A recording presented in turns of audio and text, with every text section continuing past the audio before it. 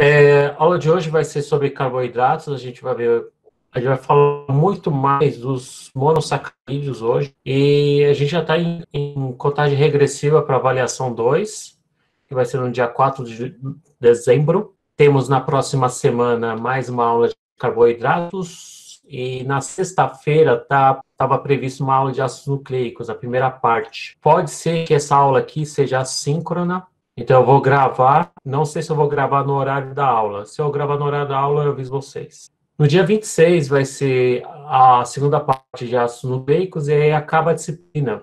E aí na semana seguinte, a primeira semana de dezembro, vai ter uma aula de revisão para vocês se prepararem para a segunda avaliação da disciplina, essa avaliação 2 da parte de teoria.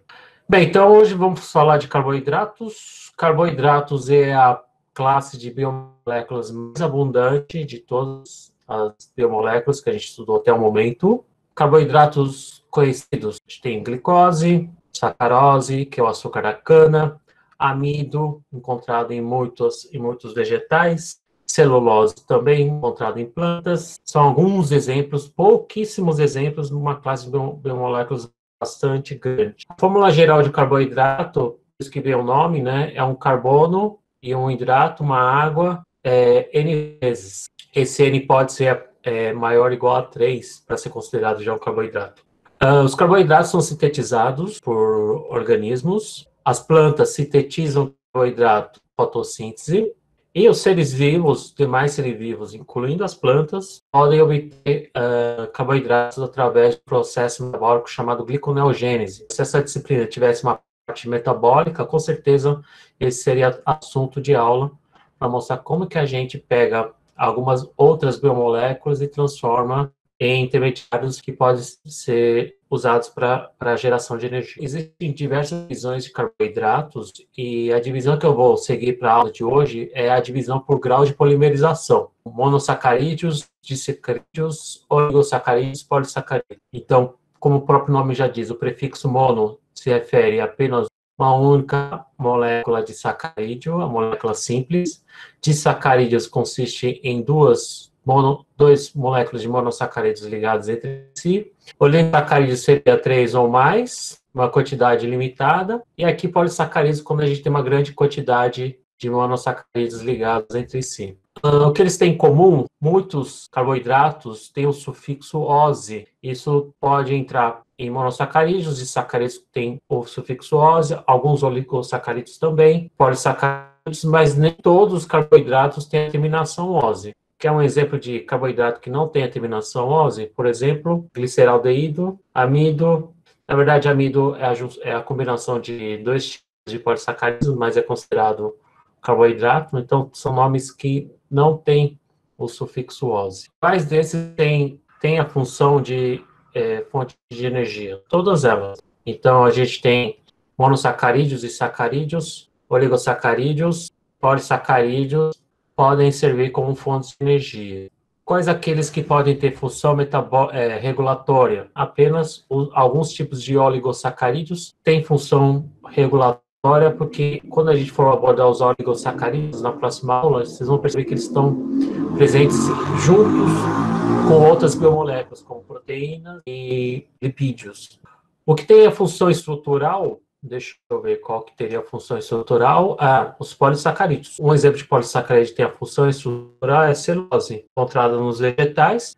Os que têm papel de reserva nutricional são os polissacarídeos também, Aí a gente tem amido e, glicogênio como exemplos polissacarídeos com função de reserva nutricional. Parte da aula de hoje a gente vai ficar em cima dos monossacarídeos. Uh, os monossacarídeos, como eu já expliquei, é a forma mais simples dos carboidratos e eles estão presentes na estrutura de ácidos nucleicos. A gente vai ver isso daqui duas aulas.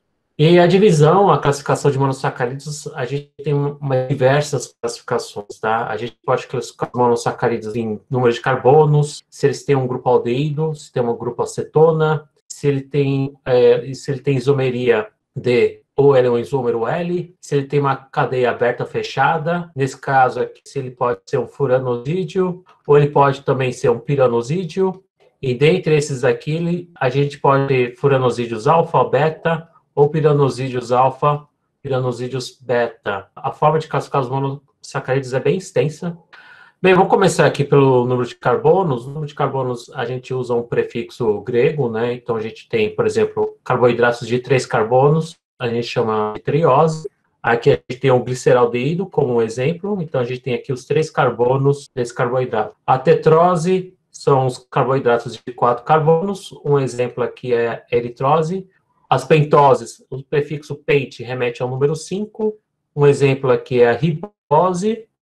A exose são os, os, os carboidratos, né, mais especificamente os monossacarídeos de seis carbonos. Então a gente tem aqui a frutose como exemplo, e a gente tem açúcares também de sete carbonos. Um exemplo que eu peguei aqui da literatura é a monoeptulose. É um monossacarídeo que eu nunca tinha ouvido falar antes, e acredita-se que ele é um monossacarídeo encontrado em algumas frutas como abacate, bem específico, né? Então a gente viu a classificação por, por número de carbonos, a gente tem a classificação também pelo grupo funcional. Então a gente pode dividir os monossacarídeos que contêm um grupo aldeído, essa função orgânica, que é uma função aldeído, ela é encontrada geralmente nas pontas, nas extremidades das moléculas, mas a gente também pode ter monossacarídeos que contêm uma, um grupo cetona. No caso de aldeídos, a gente chama de aldose, né? então aproveitando o sufixo de, de carboidrato ose, e aqueles que têm cetona, a gente chama de cetoses.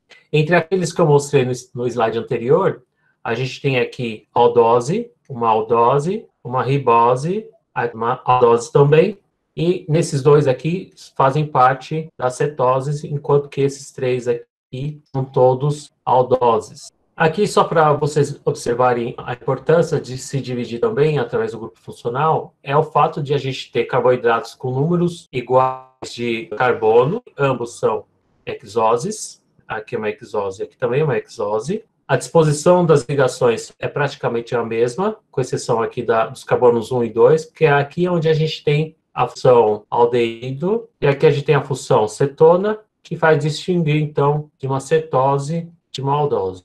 Então, a gente pode ter cetoses e aldoses com números iguais de carbonos, eles são isômeros de composição, mas diferem pelo grupo funcional.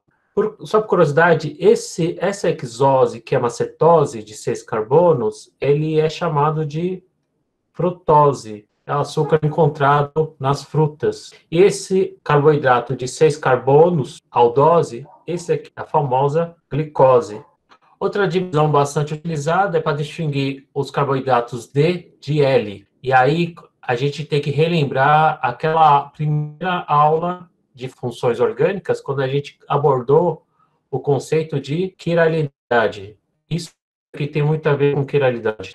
Então, vamos pegar o gliceraldeído, por exemplo. Esse aqui é o isômero D, então a gente chama de D-gliceraldeído. Então, D maiúsculo é para distinguir que é esse isômero. E a gente tem aqui o L-gliceraldeído, o enantiômero desse outro aqui. Então, a, a relação entre o D e L é uma questão de quiralidade, ou seja, se a gente fingir que tem um espelho aqui, é, esse aqui seria o objeto, esse seria a imagem. Lembra que para a gente ter quiralidade, uma das formas de a gente identificar se uma molécula vai ser quiral ou não é procurar um carbono com quatro substituintes diferentes. Aqui estou exemplificando com A, B, C e D. O carbono quiral aqui em questão é esse daqui. A gente tem aqui as quatro ligações é, diferentes. A gente tem um hidrogênio escondido aqui, e aqui a gente tem aqui no gliceraldeído escondido. Se vocês lembrarem, quando foi dada essa aula, a gente tem essa ligação um pouco mais grossa e essa ligação tracejado. Tá? Eu vou explicar mais para frente o que significa esse tracejado e essa ligação mais grossa, que a gente chama de ligação em cunho. Para a gente saber quem que, por que, que esse é D, por que esse se chamou de L, por que não o contrário? Para a gente saber quem que é D, quem que é L, isso aqui foi proposta justamente pelo próprio Fischer, e o Fischer bolou um esquema para você distinguir mais facilmente um do outro e atribuir quem que vai ser o D e quem que vai ser o L. Então, a gente precisa é, aprender a fazer projeções de Fischer. A projeção de Fischer é você pegar essa molécula que está desenhada em perspectiva, igual esses dois, e projetar ela no plano do papel. Vamos entender um pouco mais como que se faz essa projeção de Fischer. Só relembrando aqui, quando a gente tem estruturas desenhadas desse jeito, a ligação mais grossa, significa que ela está apontada para frente do plano, está saindo do plano. Então, é como, é, é como se ela estivesse apontando assim para você. Agora, quando a gente tem uma ligação tracejado, ele está meio que apontando para trás do plano. Então, seria algo mais apontando para trás do plano, uma coisa assim. Agora, vamos aprender como que faz para transformar isso em projeções de Fischer. Criei uma mandinga aqui, mas eu não sei se vai funcionar para todos os casos. A primeira coisa que eu sugiro é colocar a carbonila para cima. Considera a cadeia carbônica, ou seja, os carbonos vão ter que ser dispostos na vertical. As ligações horizontais vão ter que ser sempre voltadas para fora do plano, ou seja, para frente, apontando na sua direção. Então, vai ser alguma coisa mais ou menos desse tipo. Então, aqui, ó, já tem mais ou menos uma ideia da projeção de ficha. Então, eu coloco a carbonila para o norte, para cima. Os três carbonos estão na vertical. As ligações horizontais, a gente só tem um carbono quiral, então é justamente esse carbono aqui, que eu estou marcando com estrelinha, é esse carbono aqui. E a gente tem que apontar, dispor as, as ligações como se estivesse apontando para frente.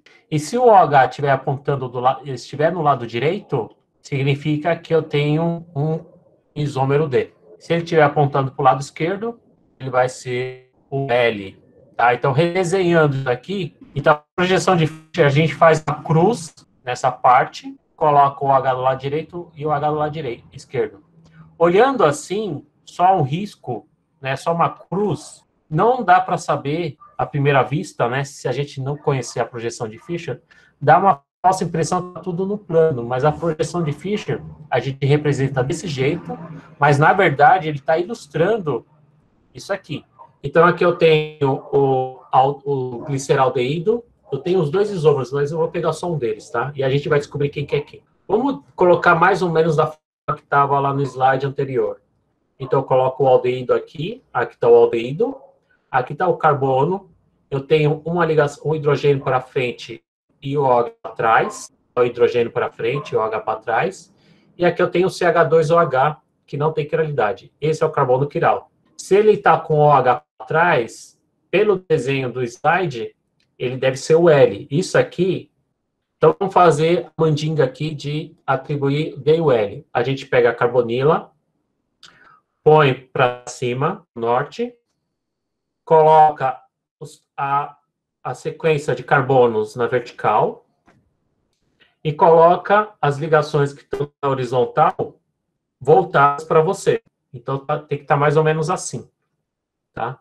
Não pode estar tá assim, porque a ligação vertical aqui está apontando na minha direção, para dentro, para trás. Então, a gente coloca eles para frente.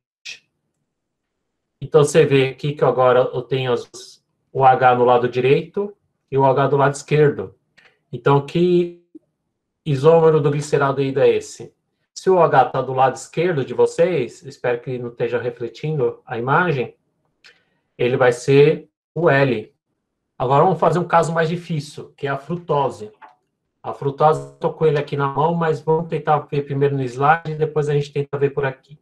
Bem, no caso da DOL frutose, a gente segue a mesma mandinga aqui. Põe a carbonila para cima, põe a cadeia carbônica na vertical, a gente põe as, ligações horizontais voltadas para frente, para fora do plano. Então, essas ligações horizontais aqui que eu estou marcando, essa, essa, são as ligações horizontais. Todas elas no modelinho a gente tem que fazer mais ou menos assim, apontando na direção de vocês. E aí a gente, agora, quando a gente, como a gente tem vários carbonos quirais, esses três essa tecla de carboidrato, ele tem três carbonos quirais. Qual carbono quiral que a gente vai usar para atribuir o D e o L?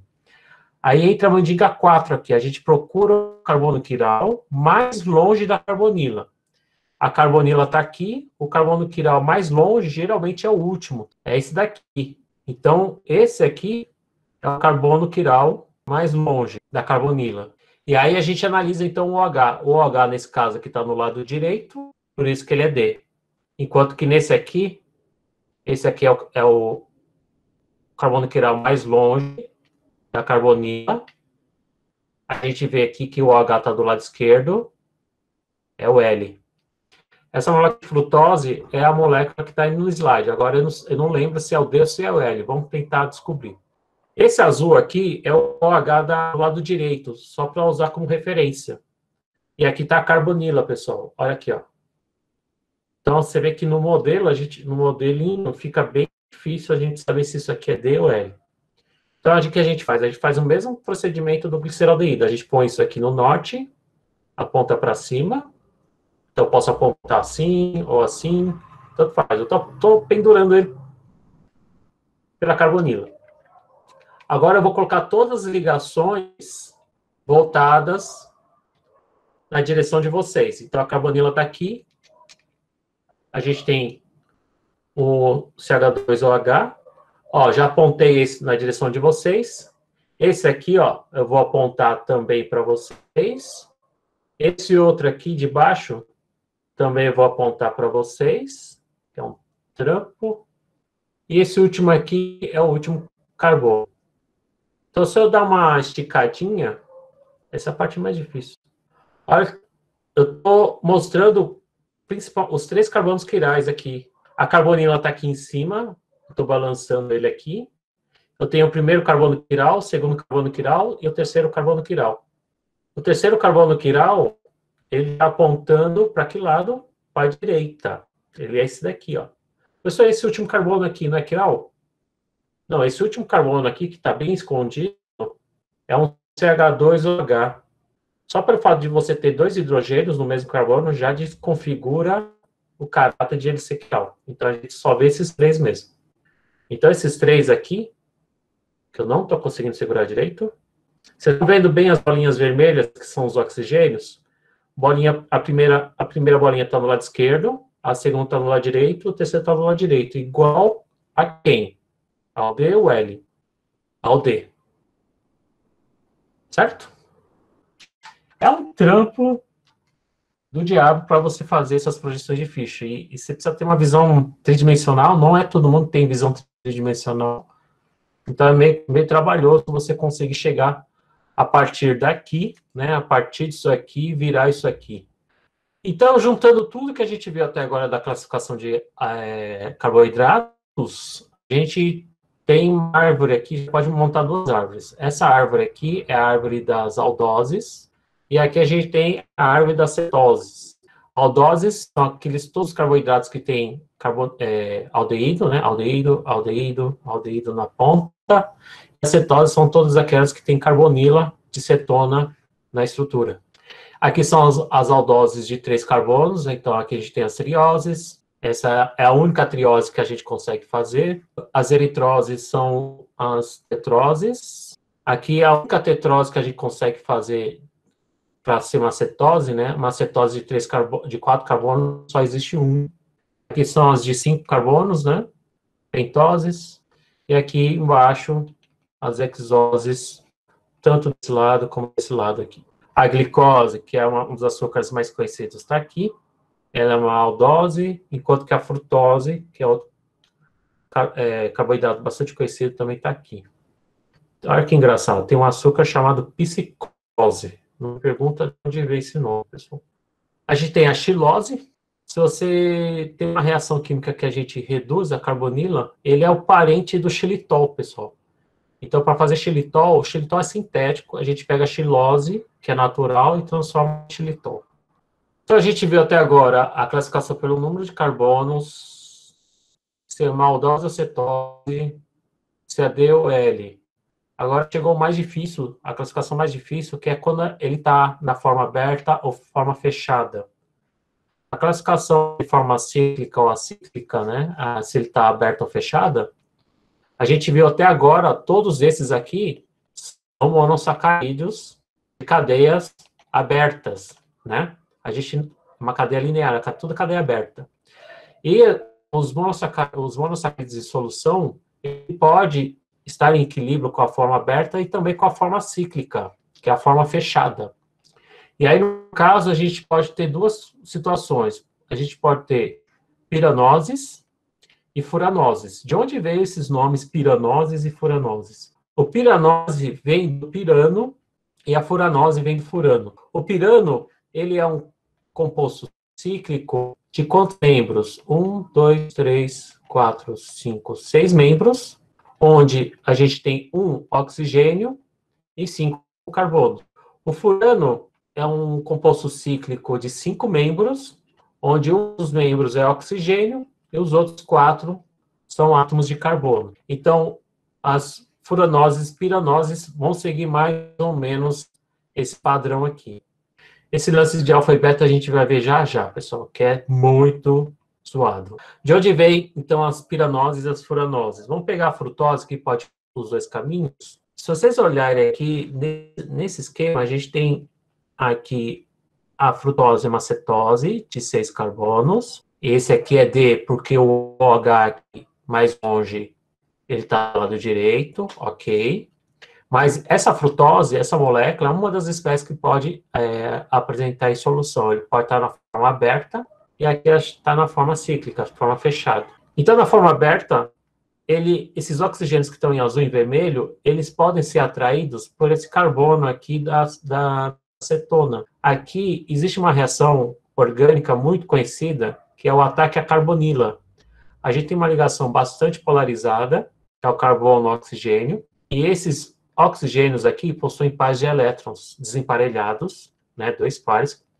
Esses pares de elétrons, como eles têm uma densidade de carga negativa, eles podem ser atraídos por, essa, por esse carbono com densidade de carga positiva. É uma reação que a gente chama de nucleófilo eletrófilo. Então, esse aqui pode atacar aqui, ou esse aqui pode atacar aqui. Se for o azul, como está mostrando aqui, ele pegou essa projeção e colocou meio que de lado e mostrou os pares, está mostrando os pares de elétrons do oxigênio azul atacando a carbonila aqui da frutose dentro da própria molécula. E aí ele vai ciclizar. E aí, quando eu ciclizo aqui, eu vou formar um anel de, de qual tamanho? Oxe, ele vai formar um anel de 1, 2, 3, 4, 5 membros. Onde que estão esses, essa, esses números aqui? Tá aqui, ó. 1, 2, 3, 4, 5. Então, 1 vai se ligar com 5, eu vou formar, no caso aqui, uma furanose. Esse oxigênio aqui em vermelho também pode fazer a mesma coisa que o azul fez. Ele vai atacar o carbono carbonílico. Só que aqui no caso, a gente vai formar um anel de seis membros. Se a gente numerar, então, 1, 2, 3, 4, 5, 6. Ele vai formar um anel de seis membros, então vai ser uma piranose. Então, o que eu quero mostrar aqui é que os monossacarídeos, eles podem estar na forma aberta ou forma fechada. E quando eles fecham, eles podem, dependendo da estrutura do monossacarídeo, ele pode ser um furanosídeo ou um piranosídeo. E olha que interessante, os dois aqui, do exemplo, eles estão mostrando que é alfa. E aí vem a parte punk tentar mostrar o que, que é alfa-beta. É, essa carbonila aqui, pessoal, não sei se vocês estão acordados ainda, mas essa carbonila, ele tem uma geometria planar. Esse carbono aqui é a hibridização sp2, então ele é planar. Tá? Então imagina isso aqui como três pontos definindo um plano. Né? Uma carbonila geralmente é planar. Então, uma vez que ele é planar, há a possibilidade do oxigênio aqui atacar por baixo ou ele atacar por cima. Então, esse oxigênio, na hora que ele vai atacar, como está representado na figura, ele pode atacar tanto por cima, por baixo do plano da carbonila. E aí ele pode levar a duas possibilidades. Aqui ele está mostrando uma só. Ele está atacando aqui por cima e o H está aqui embaixo. Então, nesse caso aqui é o alfa. Mas se você fizer essa mesma reação, atacando no outro lado, você pode ter o que a gente chama de beta. E aí, nesse carbono aqui, onde ele fechou, a gente tem aqui a, as duas possibilidades. E quando a gente tem as duas possibilidades discriminadas aqui nesse carbono, esse carbono aqui é justamente o carbono que a gente chama de carbono anomérico. Como que eu sei como encontrar o carbono anomérico? O carbono anomérico, você consegue achar uma maneira rápida se você procurar um carbono que tenha duas ligações a oxigênios diferentes. Tá aqui, ó, eu tenho um oxigênio aqui e um oxigênio aqui. Nesse aqui eu tenho oxigênio aqui, um oxigênio aqui. Se você observar, os outros carbonos estão ligando em apenas um oxigênio. Então aqui, ó, Eu identifiquei rapidamente esse carbono como carbono numérico, porque ele está ligado a esse oxigênio e esse outro oxigênio. Aqui, aqui, ó, oxigênio, oxigênio. Então, esse aqui é um carbono numérico também. Esse também é um carbono numérico também. Como distinguir, então, o alfa do beta? Tá aqui, repetindo de novo o ataque aqui agora na glicose. A glicose também pode ciclizar. E aí a gente cicliza preferencialmente para dar uma piranose. Então, o nome mais formal da glicose na cadeia fechada é a glicopiranose. E aqui eu estou mostrando as duas formas aqui, alfa e beta possíveis. Quando você fecha, o OH pode estar para cima ou para baixo. Se estiver para cima é beta, se estiver para baixo é alfa. Se o OH estiver para cima, ele vai ser beta. E se o OH estiver para baixo, ele vai ser alfa. Mas não é tão simples de enxergar isso. Tá? Primeiro que você precisa achar o carbono numérico e você precisa colocar a molécula mais ou menos exposta desse jeito. Cada livro põe as moléculas cíclicas de carboidratos de maneiras diferentes. Então, é muito, é muito, muito difícil você memorizar por aqui. Existe uma maneira mais fácil de identificar o alfa e o beta, tá? Então, se o OH estiver para baixo e o CH2OH do carbono aqui, ó, procurem na molécula da, do açúcar um CH2OH, que é essa porção aqui, ó. Se eles estiverem em lados opostos, alfa. Se estiverem apontando no mesmo lado, aqui o CH2OH e o H, estão apontando, os dois estão apontando para cima, então aqui é beta. Aqui ele está apontando para cima. Professor, essa estrutura aqui não está, está diferentona essa estrutura, né? Pois é. Está inteiro mais ou menos como que é o alfa e o beta? Então, alfa, o OH e o CH2OH estão em lados opostos. E no beta, o CH2, o H e o OH estão apontando do mesmo lado. Ele está um pouquinho torto, mas ainda apontando para cima. Qualquer anel de seis membros, principalmente esses que têm carbono, olhando de assim, parece que eles são planares, né? Mas se você olhar de lado, olha só. Se vocês olharem um pouco de lado, vocês vão ver que eles têm, ele, dá uma, ele faz um zigue-zague. Como o carbono faz é, quatro ligações e ele tem geometria tetraédrica, né, principalmente quando ele está é, saturado, então ele tem essa disposição um pouquinho que assemelha o que a gente chama de cadeira. Vocês estão vendo? Tá? Ele está para baixo, para cima, para baixo, para cima.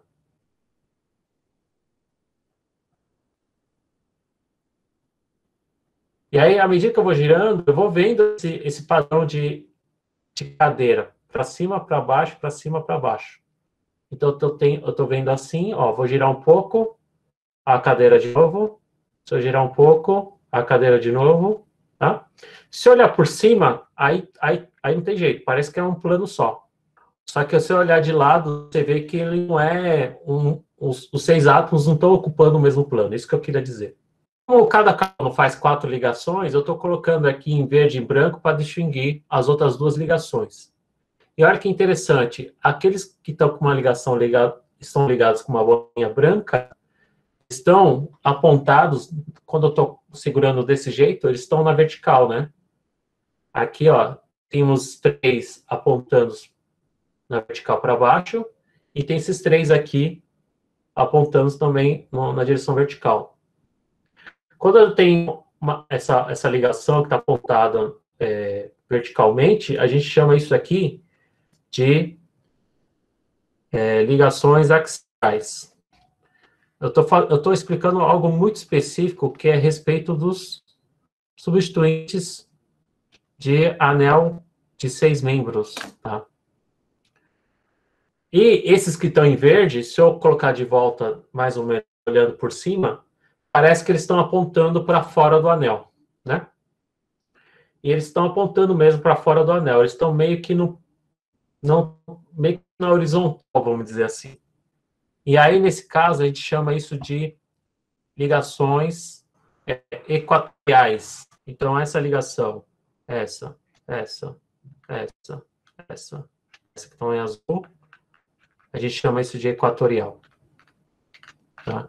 Então, a forma que, que os livros de bioquímica desenham para facilitar o entendimento, ou eles desenham mais ou menos assim, né, em perspectiva, só que o, o anel de seis no mesmo plano. É, no ponto de vista bioquímico, isso não vai afetar em nada, mas no ponto de vista químico, né, principalmente é, em química orgânica, a gente leva em consideração a geometria da molécula. Então, essa geometria não é totalmente planar. Essas bolinhas em verde sempre vão ficar equatorial e as brancas vão ficar axial? Não. Por isso que é legal comprar um, um modelinho desses aqui. Aí o que acontece? Essa molécula não fica parada. Ela mexe, ela gira, ela aumenta, diminui um pouco, as ligações se movimentam, tá? E ocorre uma coisa que a gente vê bastante nessas estruturas, é o que a gente chama de inversão de cadeira. Então, as ligações podem se alternar. Se eu colocar esse cartão que está para cima, né, estava do jeito que estava antes, mas se eu colocar ele para baixo agora, olha o que aconteceu. Agora, quem está axial são os verdinhos, e quem está equatorial são os branquinhos. Isso acontece nessas estruturas de seis membros de açúcares também. E aí, isso aqui vai dar a explicar, por exemplo, a estabilidade entre alfa e beta. A energia de, do alfa, pode voltar para o slide, pessoal. A energia do alfa e a energia do beta são diferentes em termos de estabilidade. Uh, no caso aqui, você vê que o, o, no beta, o OH aqui está na equatorial, ele está apontado meio que para o lado, né? enquanto que aqui ele está na axial. O que eu queria mostrar aqui é o slide mostra também a, a maneira de a gente enxergar se é alfa ou beta. Aqui o OH está para o OH tá para baixo e o CH do OH para cima, alfa. Se eles estiverem no mesmo lado, beta. No caso aqui dessa molécula de frutose, a gente olha esse CH2OH. Eles estão apontados em, em direções opostas, alfa. Se eles estiverem apontando no mesmo lado, beta. Então, a gente acabou a parte, só a parte de monossacarídeos. Então, a gente teria que falar ainda de disacarídeos, oligosacarídeos e polissacarídeos. Eu vou encerrar a aula quando acabar os disacarídeos e a aula que vem vai ser mais os oligosacarídeos e os polissacarídeos. Bem, os disacarídeos, como o próprio nome já diz, é a junção de dois monossacarídeos. Então, a gente tem como exemplos aqui dois disacarídeos bastante conhecidos, a sucro sucrose, é do inglês a sacarose, sacarose é o açúcar da cana de açúcar, tem também na beterraba e alguns outros vegetais. A lactose é o açúcar encontrado no leite. E aqui começa a complicar um pouco na hora de explicar como que unem os dois monossacarídeos. Tá? Uh, os monossacarídeos, geralmente, eles se unem através do carbono numérico. Então, o carbono numérico, geralmente, é o carbono 1 ou 2. Ele é o primeiro se for um piranosídeo, e geralmente é o 2 se for um furanosídeo. Tá? Mas a gente identifica fácil aqui o carbono numérico, um oxigênio e um oxigênio. Ele está ligando aqui no quarto carbono de uma outra molécula, de um outro monossacarídeo, no caso aqui uma glicose, tá? E o carbono numérico está aqui. Então, eu fiz a, a lactose, a gente fala que é um disacarídeo formado por um monossacarídeo, uma galactose beta, no carbono 1, ligado ao carbono 4 da glicose. Enquanto aqui, a sacarose, ela é um disacarídeo que está ligado entre o alfa, do carbono numérico de uma glicose, ligado, agora não lembro se é vírgula ou tracinho, acho que é alfa 1, 2, tá? Ligado ao 2 da frutose, que aqui também é um carbono numérico, tá? Aqui é um carbono numérico, aqui, ó.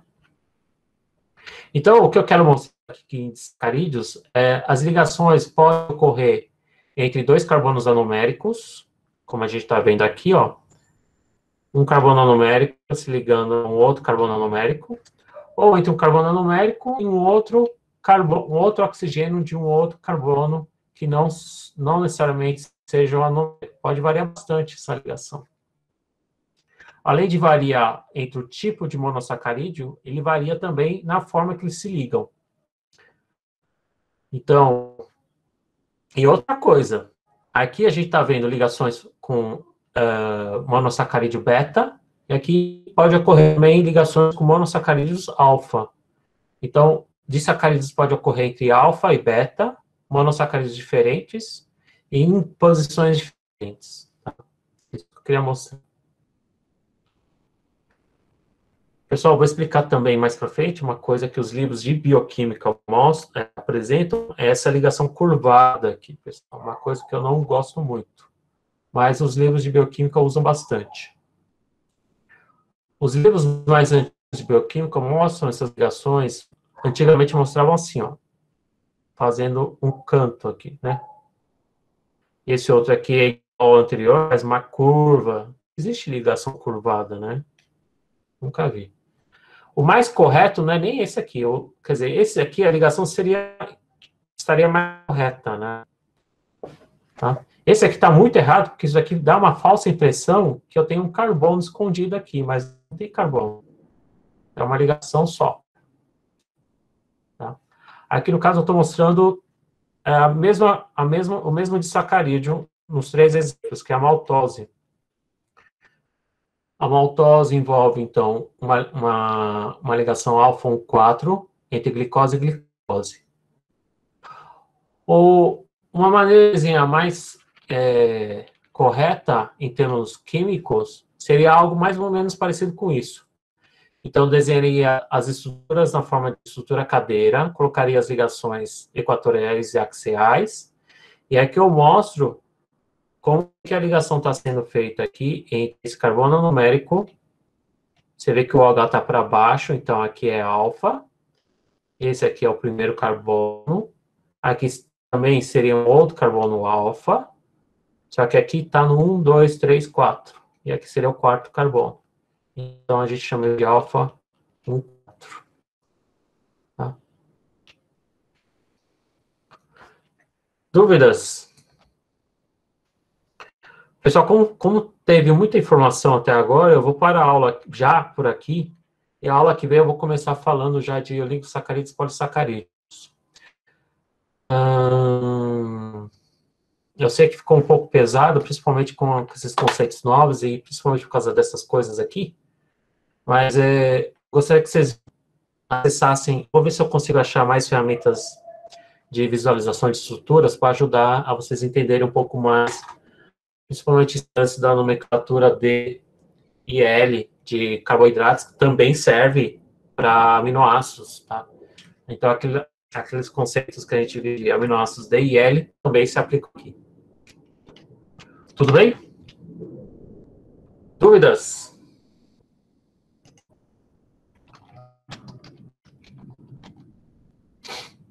Então, aula que vem eu vou começar falando dos dos carboidratos de maior tamanho e, explica, e falar mais sobre os polissacarídeos, os papéis dele no organismo. Tá? O poder redutor, que é uma coisa que eu não comentei, mas eu comentei na aula, na aula de laboratório, também é muito importante, tá? Pode cair tanto na parte de laboratório como parte de teoria também.